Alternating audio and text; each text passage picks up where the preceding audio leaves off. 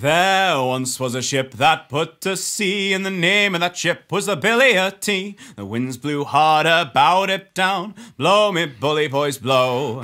Soon may the Wellerman come to bring us sugar and tea and rum. One day when the tonguing is done, we'll take our leave and go. She had not been two weeks from shore when down on her a right whale bore. The captain called all hands and swore he'd take that whale in tow. Ha! Soon may the Wellerman come to bring us sugar and tea and rum. One day when the tonguing is done, we'll take our leave and go. Before the boat had hit the water, the whale's tail came up and caught her all hands to the side, harpooned and fought her when she dived down below.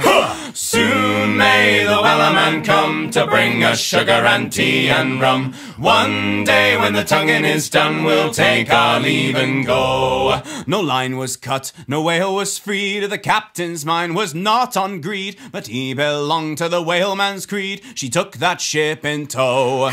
Soon may the Wellerman come to bring us sugar and tea and rum. One day when the tonguing is done, we'll take our leave and go. For forty days or even more, the line went slack, then tight once more. All boats were lost, there were only four, but still that whale did go.